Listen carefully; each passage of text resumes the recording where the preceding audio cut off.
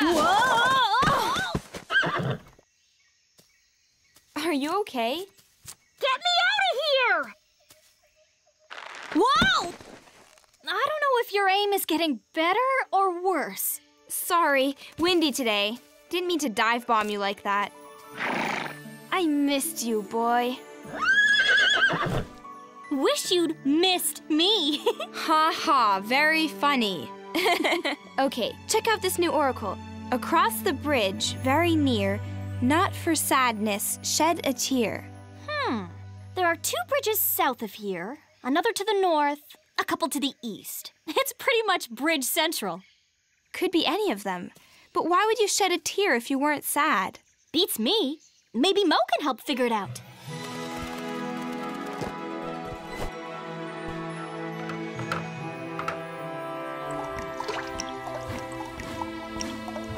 Oh. Feeling any better today, Majesties? Oh. Be glad you don't have the Ganuvian chills, Mo. Oh, it's awful. oh, indeed. And it seems half of Centopia's down with it. You know what would cure it really quick? Unicorn tears. Too bad we don't have any.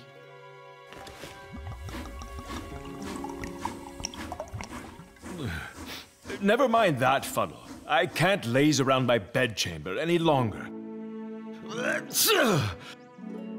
Raynor, you're too sick to review the troops. And with that sniffle, forget about royal audiences. Well, the kingdom won't run itself. No, it won't, which is why Mo should take the throne while we recover. Really? Woo! Me? King? That would be awesome!